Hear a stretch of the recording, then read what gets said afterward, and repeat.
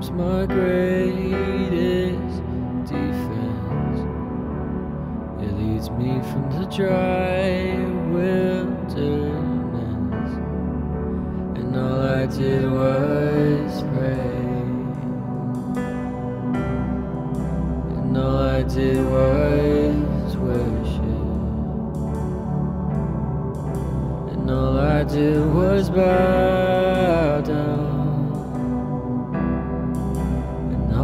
did was stay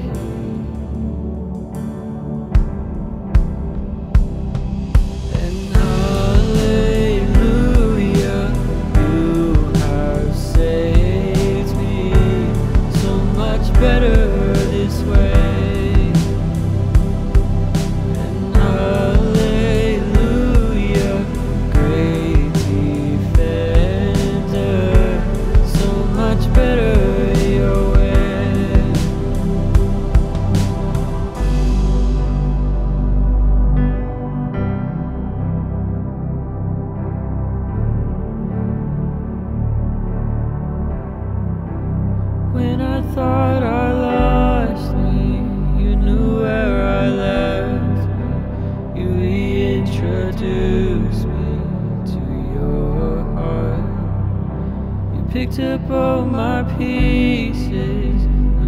Back together.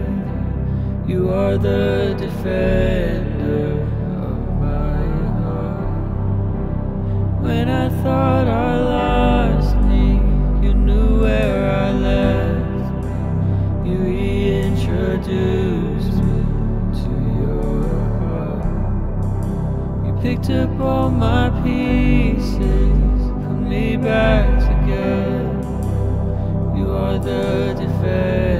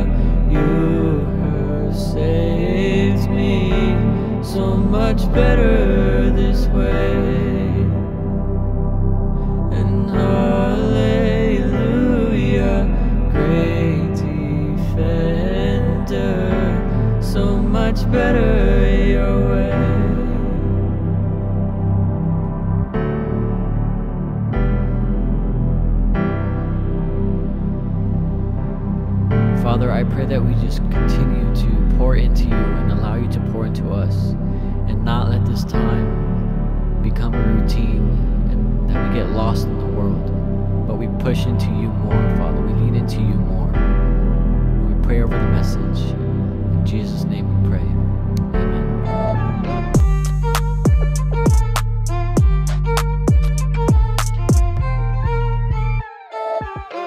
Going on, everyone, and welcome back to another episode of LTL Youth at Home. My name is Jory, the youth pastor of Live the Life Church, and I am glad that you are tuning in. If you are watching live, join the chat room. Let us know who's watching. And also, if you're watching live, join us at 8 o'clock tonight for our Zoom chat with LTL Youth, students, and leaders where we get to hang out and discuss the message. It's a lot of fun. We want to see you there. But if you're watching this at a later time, uh, man, comment and share the video to help encourage the people around you. But tonight, we're going to take the next 10 to 12 minutes to open up God's Word and allow it to encourage us. And so today, if you're taking notes, or if you have a Bible, you can go ahead and open it up to John chapter 14.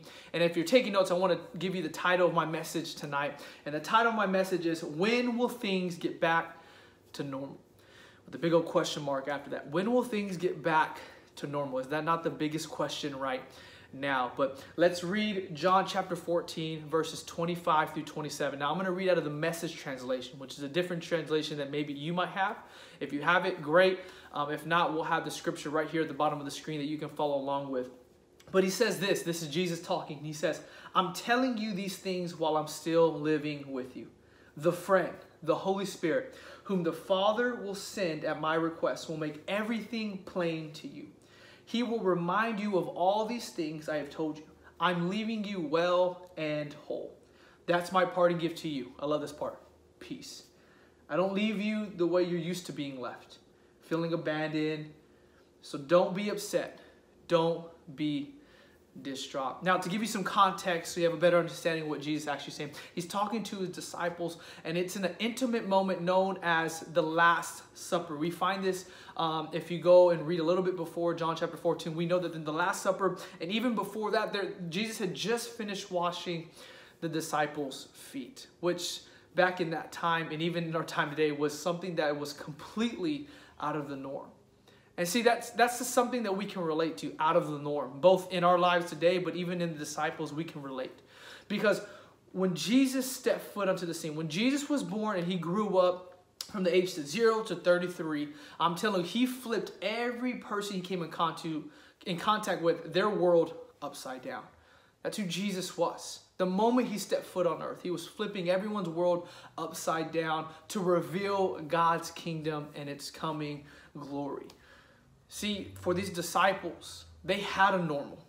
They had a routine. They had something that was normal for them. For Peter, he was a fisherman. That was his normal. But then just one interaction with Jesus, just one moment, an encounter with Jesus completely shattered his normal. Can I just say, first off, our normal being shattered isn't always bad. It's sometimes good. And can I tell you something? When Jesus, when we encounter Jesus, guess what? Our normal, our old routine, our old habits, guess what? It is good that they become shattered. Because when we in contact, get in contact with Jesus, it's good that our current normal is shattered so we can take on all that he has for us. And so for Peter, his normal routine of fishing, this is what he was going to do for the rest of his life, was shattered. Because no longer was he going to be a fisherman, but he was going to be a fisher of men. And not only that, but maybe Matthew, the tax collector, who would be at a table booth taking money for the rest of his life, shattered his normal simply by encountering Jesus. But not only that, but Jesus would then go on in, in the next few years, he, he would begin to flip upside down people's theology right? These Pharisees and Sadducees and these Jewish believers had a belief uh, about the law and the, and the prophets, the Old Testament. And every time Jesus would come in contact with his wisdom and his authority would speak above these people and, and, and a greater understanding. And so when they would listen to what Jesus was saying, these disciples, they would think, my whole world is upside down. What I what I thought I believe is is upside down. This is crazy. This meant his miracles, his healing power, all these things that these disciples encountered they, it was flipped upside down.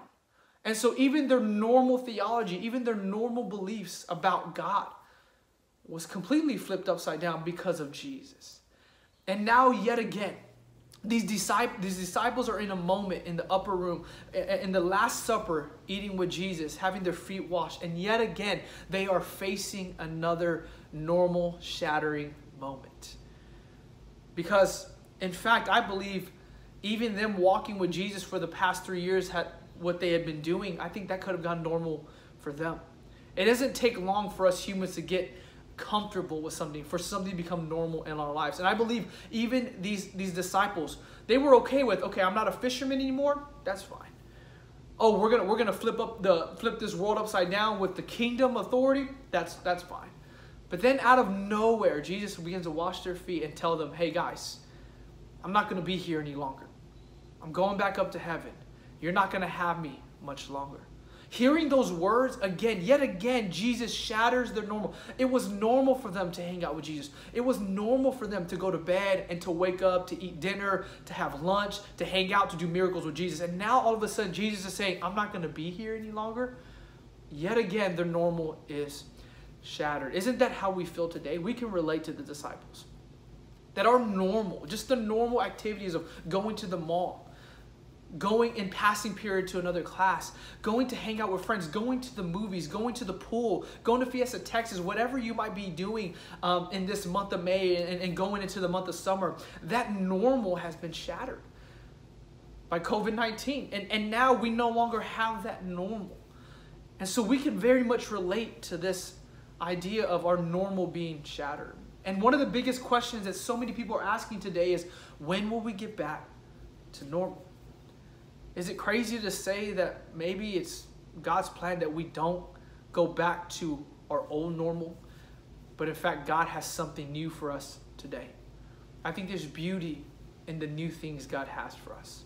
And so, my big question that I want to ask for you today, and what we're going to discuss in our Zoom chat later on tonight, but my question I want to ask you today is what do we do when our normal has been shattered? What do you do when you're normal, what, what, what has been normal and custom and, and just complacent in your life, the things that you just know that were always going to happen, the plans that you had, what do you do when that has been shattered, when it's been gone? See, we, we like normal. We like having a routine. As much as some of us um, are risk takers and just kind of going with the flow, we still have a routine and we still have something that we can hold on to. We like knowing a little bit about the future. So, what do we do when our normal is shattered? The biggest thing that I can tell you today, and what I want you to cling on to, hold on to today, is this. What do we do when our normal is shattered? We stay close to Jesus. When our normal has been shattered, we stay close to Jesus. If this, this is the biggest thing I want you to get out of this entire conversation tonight when our normal, when our routine has been shattered, when COVID 19 has completely stripped away our normal of our life, and now we're sitting at home, and now our, our, our normal routine of going to the grocery store involves a mask and staying six feet away from each other or not touching anyone. When that normal has been shattered, we must stay close to Jesus. So we, we have to stay close to Jesus, I believe, simply from this text, two reasons. Let's just make it simple.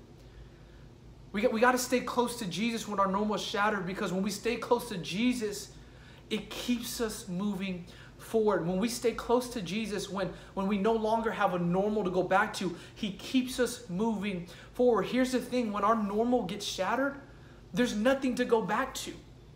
It's very easy for us when things get difficult to go run back to our normal, to run back to what we've always known. But when that has been shattered, when that no longer looks like that's going to be the future, Jesus and staying close to Jesus keeps us moving forward. It keeps us going in the same direction as God. Because here's the thing God doesn't go backwards. That'll preach all day. God doesn't go backwards. God has no plans for us in the past. He only has plans for us in the future. And staying close to Jesus keeps us walking in step with the future. Because here, here's the thing that's crazy. Is that is that the disciples would have been totally fine healing and doing miracles in their little region of Jerusalem. They, they were totally fine with that. But here's the thing God, God wasn't interested in staying in the past and staying there in that normal. No, no, no. Jesus said, I have to leave so that the Holy Spirit, my spirit, my power can live amongst all of you guys. And, and, and when it lives amongst all of you guys the same way it is doing today, no longer will you stay in Jerusalem, but I have plans for the future for you not just to change your region, but for you to change the world. And that's exactly what the disciples did. The disciples were perfectly fine with staying in their normal in Jerusalem. But God said, no, no, no we're not going to stay there. That normal is shattered because I, I got greater plans in the future. And maybe, quite maybe, God has greater things in our future than He has in our past and even today. And maybe, quite possibly, maybe, that this is our step moving into all the great thing God has for us. Because when we stay close to Jesus, when our normal has been shattered, we move forward. Because some of us, and I can speak for myself, that when our normal has been shattered, the first thing we initially want to do is, is just try picking up the pieces and putting them back together so we can live back there. But guess what? When our normal is shattered, there's nothing there to repair. All we have to do is keep moving forward, and we have to trust and know that God has greater things ahead of us. That God has greater plans ahead of us than He that He did in our past. So we got to stay close to Jesus because staying close to Jesus when our normal has been shattered keeps us moving forward. And not only does it keep us moving forward but in that in that time of moving forward when we're afraid and uncertain we're like what is going to happen? It gives us peace. Our world is flipped upside down when our normal is shattered and we are anxious and we are fearful because all that we knew it was normal has been stripped away. And so we are left feeling metaphorically naked and ashamed and saying oh my gosh what do i do now but guess what? in our time of our normal being shattered, not only does Jesus and staying close to Him keep us moving forward to the greater things God has for us, but it keeps us in a place of peace. Jesus said this I'm leaving you well and whole.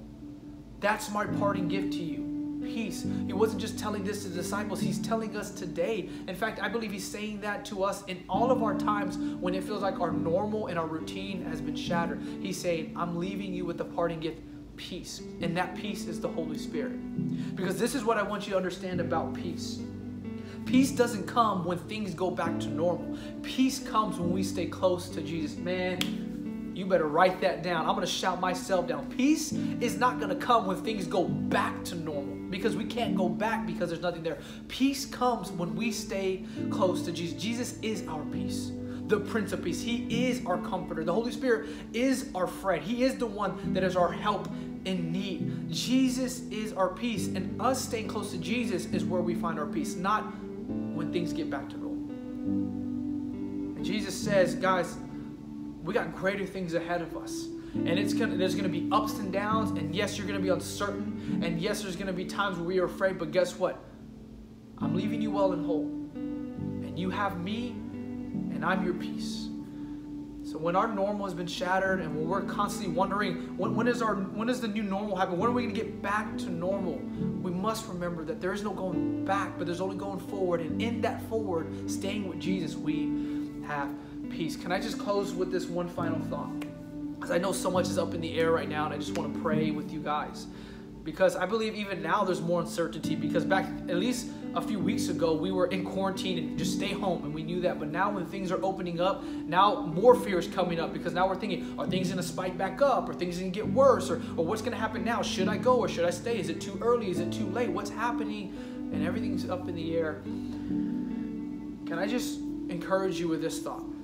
When everything is focused on when are things going to get back to normal I pray that our desire would not be for things to get back to normal. I pray that your desire would be for things and for you to focus on Jesus, to get back with Jesus.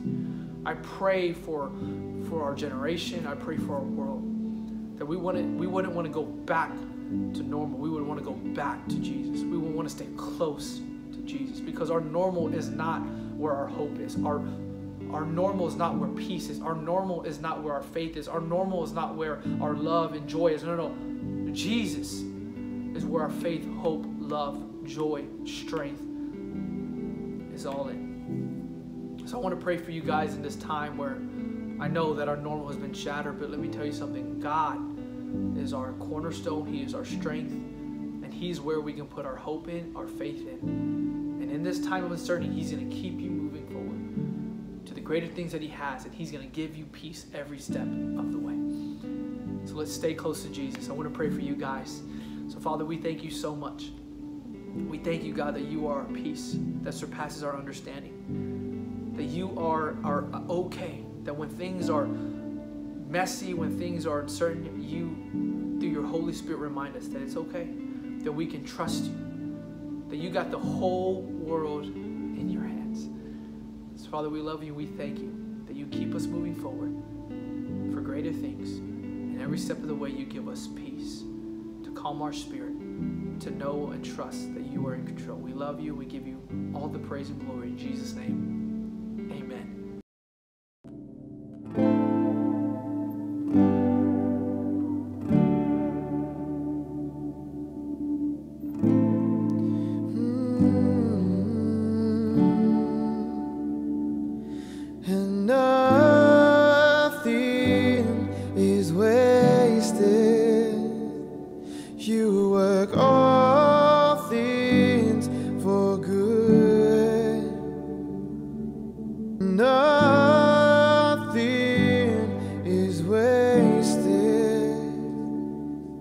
Your promise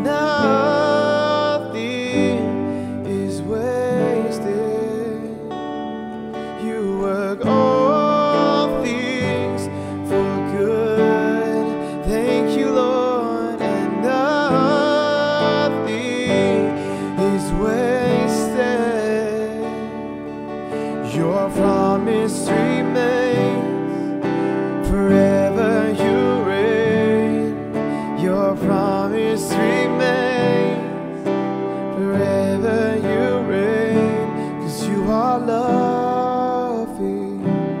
You are wise. There is nothing in my life you cannot revive. You are loving. You are wise. Oh, there is nothing too hard for our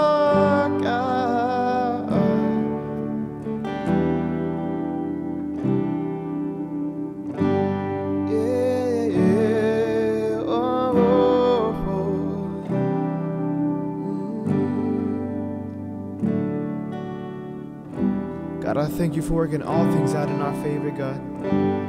That you have plans to prosper us, God. God, that you're not going to lead us to, to failure. You're not going to lead us to heartache, God.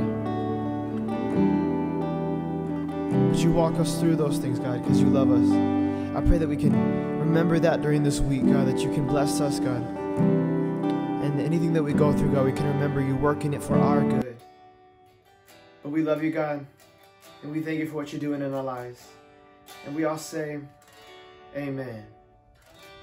Hey guys, it's Anissa from Youth. Thank you for joining our service, but don't worry, we still have our Zoom meeting at 8 o'clock tonight. The meeting ID number is 924-9134-8848, and the password is 045181. Again, our Zoom meeting is at 8 p.m., and the meeting ID number is 924-9134-8848, and the password is 045181. Thank you, and I can't wait to see you there. Bye.